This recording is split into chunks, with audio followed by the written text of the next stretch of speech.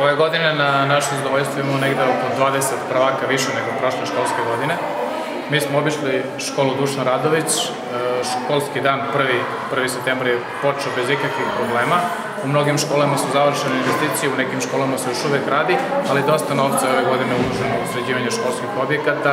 Kada, su, kada je u pitanju opštinski budžet, obezbeđene su neke donacije preko japanske ambasade, preko Tigar Tiresa, tako da možemo da kažemo da je blizu 30, skoro 40 miliona dinara ove godine uloženo u naše škole.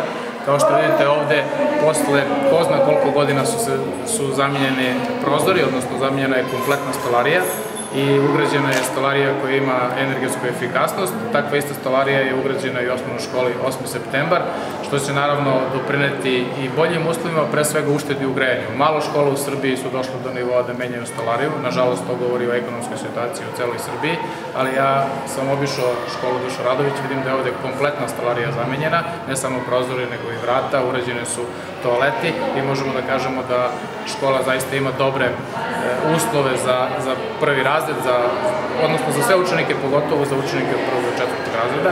Ono što nas očekuje vezano za školu Dušan Radović je izgradnja osnovne škole u selu Staničenje, potpuno nova osmogodišnja škola i očekujemo da ovde promenimo kotao koji je već star, koji takođe ima problema sa grejanjem, preći ćemo na energetski efikasniji kotao, koristit će se pelet i pokušat ćemo da rešimo problem i vrtića Prvomojski cvet, jer ćemo predvideti da taj kotao može da greje i matičnu školu Dušan Radović, ali i kompletan vrtić Prvomojski cvet. Tako da mislim da smo ove godine dosta toga uradili, započeli i da ćemo do kraja godine sve svoje ciljeve završiti uspešno.